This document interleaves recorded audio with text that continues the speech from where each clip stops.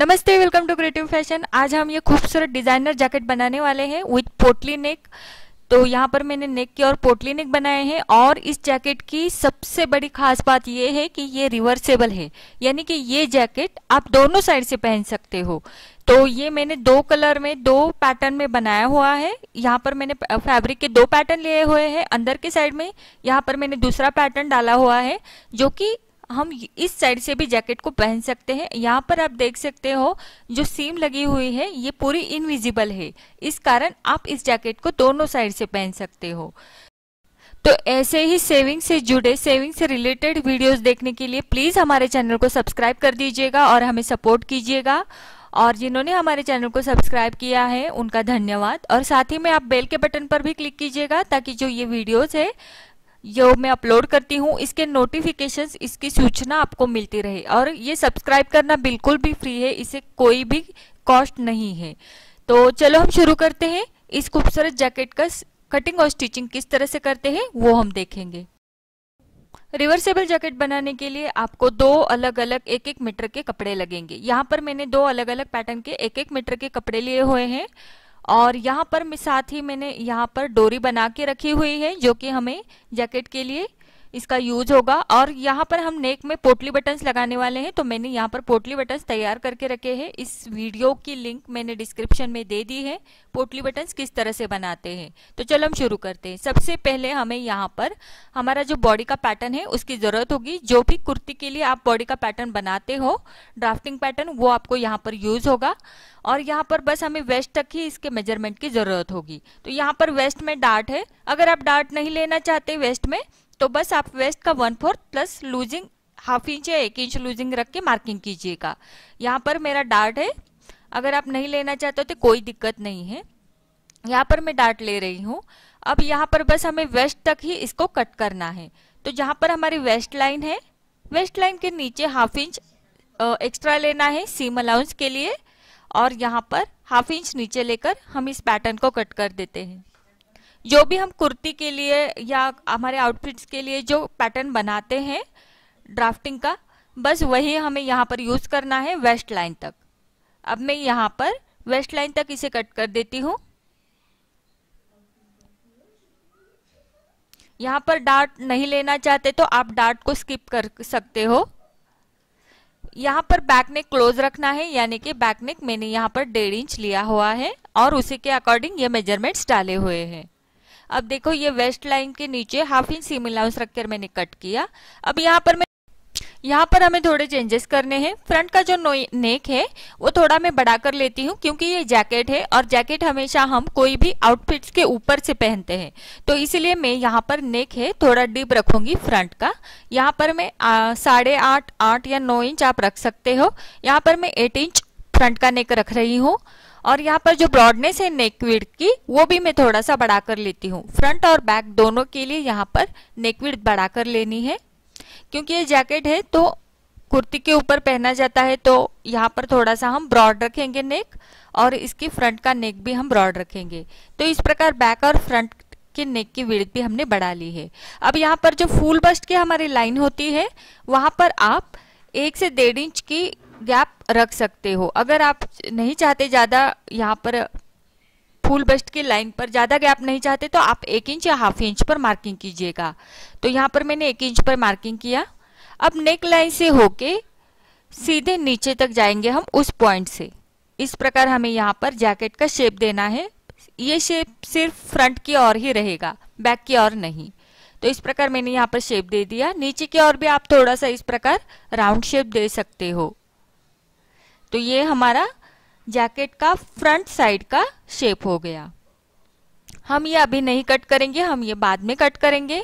कपड़े के ऊपर सबसे पहले हम बैक का मार्किंग करेंगे, उसके बाद हम फ्रंट कट करेंगे। तो यहाँ पर सबसे पहले एक मीटर कपड़ा है हमारा ये, और यहाँ पर मैंने इसे रख दिया। अब जो ये पैटर्न है बना हुआ हमारा, मैंने यहाँ पर इसे फोल्डेड साइड पे रख दिया। हम सबसे पहले यहाँ पर बैक कट करेंगे। तो यहाँ पर ये जो नेकविड बढ़ाई है, ये मैं यहाँ पर कट कर देती हूँ। फोल्डेड साइड पे रख के बैक का कटिंग करेंगे। यहाँ पर मैं आपको बता दूँ, ये जो कपड़ा हमने लिया हुआ है, ये हमारे जो ओल्ड साड़ीज होते हैं, पुराने साड़ीज होते हैं, उसका ये पल्लू है।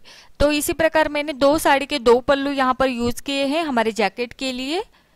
तो यहाँ पर देखो, हमने ये बैक का कटिंग पूरा कर लिया है। उसके बाद जो पैटर्न है हमारा यहाँ पर हम फ्रंट के लिए जो ड्राफ्टिंग किया था, उसके अकॉर्डिंग ये कट कर देते हैं।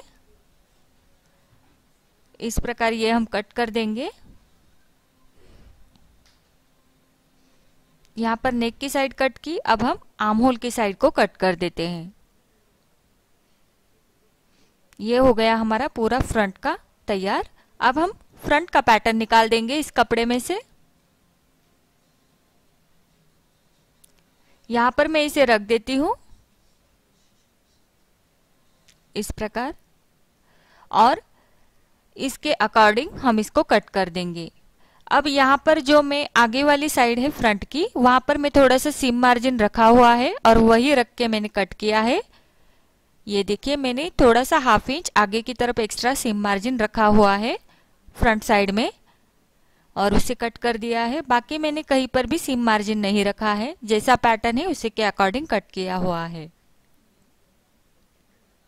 तो ये कटिंग हमारा हो चुका है। आप देख सकते हो, मैंने इस साइड में फ्रंट के, आगे के साइड में हाफ़ इंच मार्जिन एक्स्ट्रा रख के कट किया है। बाकी मैंने कहीं पर भी मार्जिन नहीं छोड़ा है। इस प्रकार हमारा फ्रंट और बैक दोनों का कटिंग यहाँ पर हो चुका है। अब ये जो फ्रंट और बैक का कटिंग हो चुका है सेम इसी प्रकार दूसरे कपड़े के ऊपर भी ये पैटर्न हम निकाल देते हैं। तो मैं यहाँ पर सेम इसी प्रकार ये पैटर्न निकाल देती हूँ। मैंने यहाँ पर निकाल दिए हैं। आप देख सकते हो, ये जो सिंथेटिक कपड़ा है मेरा दूसरा कपड़ा तो वो सिंथेटिक होने के कारण यहाँ पर मैंने थोड़ा एक्स्ट्रा लिया है। स्टिचिंग करने के बाद मैं वो ट्रिम कर दूँगी और यहाँ अब ये पैटर्न एक दूसरे को अटैच करने से पहले मैं यहाँ पर अलग अलग डार्ट ले लेती हूँ। ये स्टिच करने से पहले हमें अलग अलग डार्ट्स लेने हैं। तो यहाँ पर मैंने ले लिए है डार्ट्स आप देख सकते हो, ये बैक का पैटर्न है और बैक के पैटर्न में मैंने डार्ट ले लिए हैं। ये एक साइड का कपड़ा है और यहाँ पर जो दूसरे साइड का जैकेट का बैक पैटर्न है, वहाँ पर भी मैंने डार्ट ले लिए हैं। तो अगर डार्ट लेना चाहते तो इस प्रकार अलग अलग लीजिएगा, उसके बाद एक दूसरे के ऊपर बराबर से रख के उसको स्टिच करना है। तो वो डार्ट लेने के बाद एक दूसरे के ऊपर बराबर से रखकर यहाँ पर आर्म होल की साइड में स्टिच लेनी है। उसके बाद नेक की साइड में स्टिच लेनी है। और इस साइड का आर्म होल भी स्टिच लेना है। यानी कि दोनों साइड के आर्म होल में स्टिच लेनी है और नेक की साइड में स्टिच लेनी है। देखो, मैंने यहाँ पर जहाँ पर मार्किंग किया है, वहीं पर स्टिच लेनी है। ना कि हमें शोल्डर की ओर स्टिच लेनी है और ना ही साइड में और नीचे की ओर स्टिच लेनी है। बस हमें दोनों साइड के आर्म होल और नेक में स्टिच लेनी है। अब यहाँ पर फ्रंट का भी देख लेते हैं। फ्रंट में भी मैंने डार्ट ले लिए हैं। एक साइड के पैटर्न में डार्ट ले लिए हैं। उसी प्रकार मैंने दूसरे साइड का पैटर्न जो है जैकेट का फ्रंट का, उसमें भी मैंने डार्ट ले लिए हैं। तो ये मैं एक दूसरे के ऊपर यहाँ पर रख देती हूँ। सीधी साइड के ऊपर, सीधी साइड में बराबर से यहाँ पर रख देती हूँ। क्योंकि मैंने ये जो सिंथेटिक पैटर्न है एक साइड का तो इसलिए मैंने यहाँ पर ये थोड़ा एक्स्ट्रा कट किया हुआ है, क्योंकि ये स्टिच करते समय थोड़ा इधर उधर हो जाता है। बाद में हम ट्रिम करेंगे। तो यहाँ पर भी हमें कहाँ पर स्टिच लेने हैं हम देखेंगे। यहाँ पर हमें फ्रंट साइड का जो पैटर्न है उसमें जो आगे की साइड है, हमारे नेक की साइड, उस साइड में स्टिच लेनी है, नीचे की साइड में स्टिच लेनी है, आर्म होल की साइड में स्टिच लेनी है, बस हमें ये तीन ही साइड में ही स्टिच लेनी है। सेम उसी प्रकार दूसरे साइड का जो हमारा फ्रंट का पैटर्न है, वहीं पर भी नेक की साइड में स्टिच लेनी है, नीचे की ओर स्टिच लेनी है, आर्म होल की साइड में स्टिच लेनी है। तो यहाँ पर जहाँ पर मार्किंग दिखाया है, वहीं पर ही स्टिच लेनी है, बाकी और नहीं स्टिच लेनी है। यहाँ पर हमें साइड में और नेक में स्टिच नहीं लेनी है। आप देख सकते हो, यहाँ पर बस मैंने तीन तीन जगह पर ही मार्किंग किया है। तो शोल्डर में स्टिच नहीं लेनी नेक में स्टिच नहीं लेनी और साइड में भी स्टिच नहीं लेनी है। तो यहाँ पर मैंने स्टिच ले ली है। स्टिच लेके मैंने ट्रिम भी कपड़ा कर दिया है नीचे की साइड का। और यहाँ पर देख सकते हो आप, ये हमारी डोरी है। डोरी को मैंने यहाँ से बीच में कट कर दिया। ये दो सेम पीस मैंने यहाँ पर कर दिए डोरी के। अब नेक की साइड से मैं यहाँ अंदर डालूँगी इस डोरी को और इसका एक नोक जो है, इस तरह से मैं फ्रंट साइड में नेक की साइड में निकाल दूँगी बाहर। नेक के एकदम नीचे की और मैंने यहाँ पर इस नोक को निकालना है इस तरह से और पूरी डोरी हमें अंदर की तरफ़ डालनी है। इस प्रकार ये डोरी को हम दोनों साइड में इसी तरह से सेम रख देंगे। रखने के बाद यहाँ पर मैंने आप देख सकते हो मार्किंग किया हुआ है, क्योंकि हमें नेक की और पोटली बटन को अंदर की साइड में लगा देना है। तो इस प्रकार पोटली बटन को हम रखेंगे। ये देखिए, इस प्रकार रखेंगे। पोटली बटन जो है, अंदर की तरफ़ जाना चाहिए। और उसका जो वेस्टेड क्लोथ होता है, वो बाहर आना चाहिए। तो इस प्रकार हम रखते जाएँगे एक एक करके। यहाँ पर मैंने बड़े वाले पोटली बटन्स बनाए हैं। आप अगर छोटे स्टिच करना चाहते हो तो छोटे भी कर सकते हो। या अगर नहीं भी रखना चाहते पोटली बटन्स तो आप सीधी स्टिच वहाँ पर लगा दीजिएगा। तो यहाँ पर मैं पोटली बटन्स लगाना चाहती हूँ। तो एक एक करके मैं यहाँ पर पोटली बटन्स को नेक की साइड में इस तरह से अंदर डाल के उसके ऊपर स्टिच लगाते जाऊँगी। ये ऑप्शनल है। अगर आप पोटली बटन नेक की साइड में नहीं लगाना चाहते तो आप नेक की साइड में सीधी स्टिच लगा दीजिएगा और प्लेन नेक भी रख सकते हो। तो इस प्रकार एक एक करके मैं यहाँ पर पोटली बटन अटैच कर दूँगी। फ्रंट के दोनों साइड के पैटर्न में इसी प्रकार हम पोटली बटन्स को अंदर की साइड में इस तरह से रखेंगे और उसके ऊपर से स्टिच लगाते जाएँगे। पोटली बटन्स किस तरह से बनाते हैं, इसका वीडियो अपलोडेड है और लिंक मैंने डिस्क्रिप्शन में दे रखी है। इस प्रकार हम ये पोटली बटन्स एक एक करके पूरे नेक को ज्वाइंट करेंगे। पोटली बटन्स लगाने के लिए आप साइड जिपर फुट यूज़ कीजिएगा, उससे फिनिशिंग अच्छी आ जाएगी। अब यहाँ पर पूरे पोटली बटन्स हमारे स्टिच हो चुके हैं। अब जो एक्स्ट्रा का कपड़ा होता है, पोटली बटन्स का, उसे हम कट कर देते हैं। उसे पूरी तरह से कट कर देंगे। इस प्रकार ये हमने पूरा एक्स्ट्रा का कपड़ा इसका निकाल दिया और इसी प्रकार मैंने दोनों फ्रंट साइड के पैटर्न में पोटली बटन्स को अटैच कर दिया है और एक्स्ट्रा का फैब्रिक भी निकाल दिया है। अब यहाँ पर आर्म होल की साइड में स्लिट स्लिट लेके जाना है। पूरे दोनों फ्रंट साइड के पैटर्न में आर्म होल की साइड में और नेक के साइड में हम स्लिट लगाएँगे। और उसी प्रकार हम नेक के नीचे जो है सिलाई लगाई हुई, वहाँ पर भी स्लिट लगा देंगे। इससे क्या होता है, जब हम इसे अंदर की साइड से फोल्ड करेंगे तो ये फिनिशिंग के साथ फोल्ड हो जाएगा। अब ये जो सिलाई मार्जिन है, हमें इस तरह से अंदर की तरफ़ ढकेलते हुए इसको बाहर निकालना है और इसे आयन करके लेना है। तो ये फिनिशिंग के साथ हमारा ये सीम जो है, ली हुई, पूरी अंदर की तरफ़ चली जाएगी और ये ऊपर से बिल्कुल इनविजिबल दिखेगा। सीम। इस प्रकार ये हमारे दोनों साइड के पैटर्न हमें इसी प्रकार रेडी करने हैं। यहाँ पर हमने नेक के और पोटली बटन्स लगाए हैं।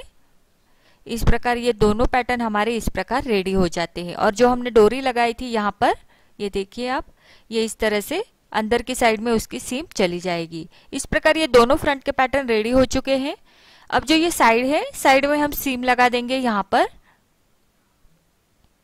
दोनों साइड के पैटर्न एक दूसरे के ऊपर बराबर से रखते हुए यहाँ पर साइड में स्टिच लगा देंगे दोनों फ्रंट के पैटर्न को।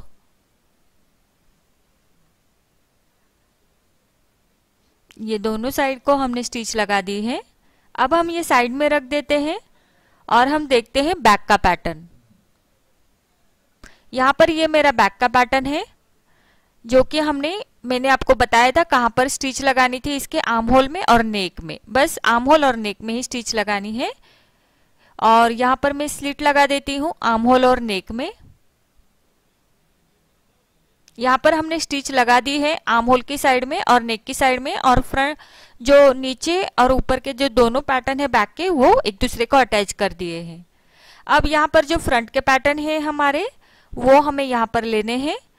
इसे इस तरह से हम अंदर की साइड में डालेंगे। ये हमारा बैक का पैटर्न है और बैक के पैटर्न के बराबर से हम अंदर की साइड में डालेंगे और जो शोल्डर है शोल्डर की ओर से उसे ऊपर खींचेंगे।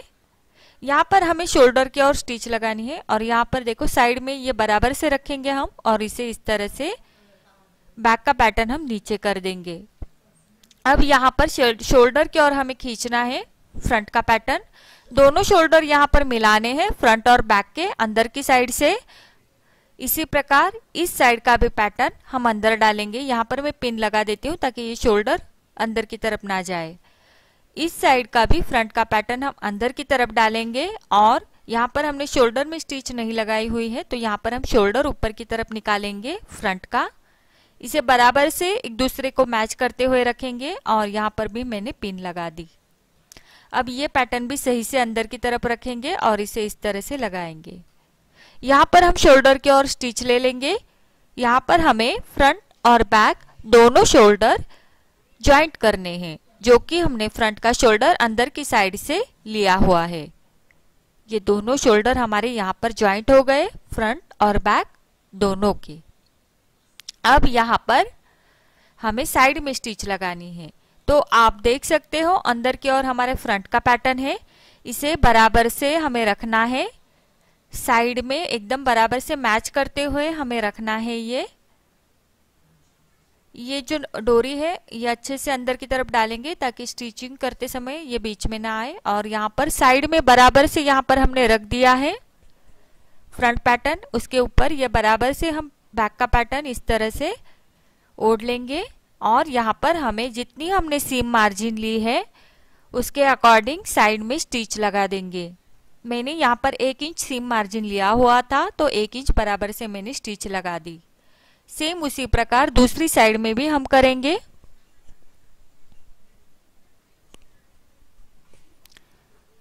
बराबर से रखते हुए हमें यहाँ पर स्टिच लगा देनी है। जिस तरह से वीडियो में दिखाया है, उसी प्रकार आप बराबर से रखते हुए यहाँ पर स्टिच लगा दीजिएगा। सीम मार्जिन की आपका जितना सीम मार्जिन आपने लिया है, डेढ़ इंच, दो इंच, एक इंच, उसके अकॉर्डिंग आप यहाँ पर स्टिच लगा दीजिएगा। अब ये स्टिच हमने साइड में लगा दी है। अब हमारा नीचे का साइड खुला हुआ है बैक का।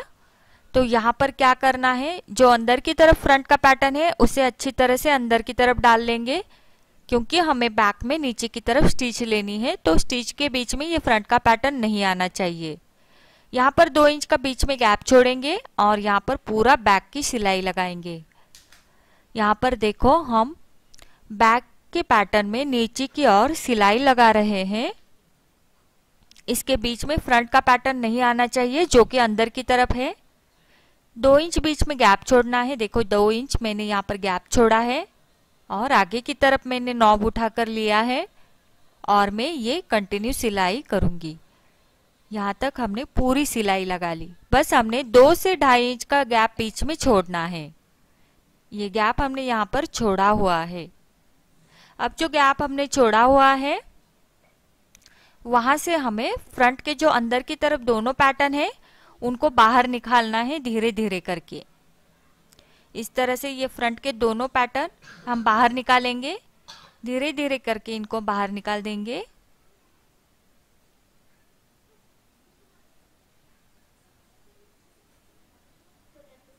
इससे क्या होगा, हमारी जो सिलाई है पूरी, बैक की, वो पूरी तरह से अंदर की तरफ़ चली जाएगी और ऊपर की तरफ़ से ये पूरा इनविजिबल दिखेगी सिलाई।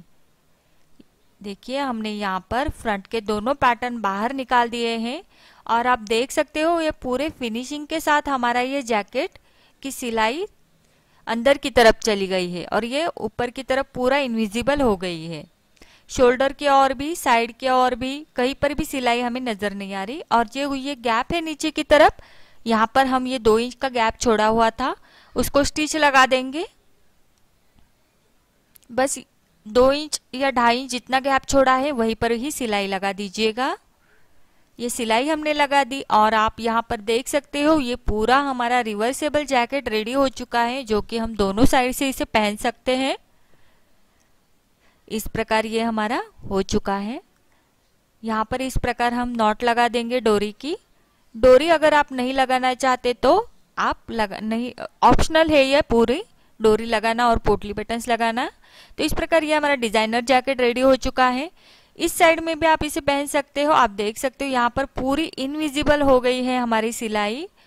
तो इस कारण आप इस साइड से भी इसे पहन सकते हो। दोनों साइड से आप इस जैकेट को पहन सकते हो। तो आपको ट्यूटोरियल ये कैसा लगा? प्लीज़ मुझे कमेंट के थ्रू बता दीजिएगा। अच्छा लगा हो तो प्लीज़ लाइक कर दीजिएगा और अपने फ्रेंड्स के साथ या रिलेटिव्स के साथ इस वीडियो को शेयर कीजिएगा और वीडियो देखने के लिए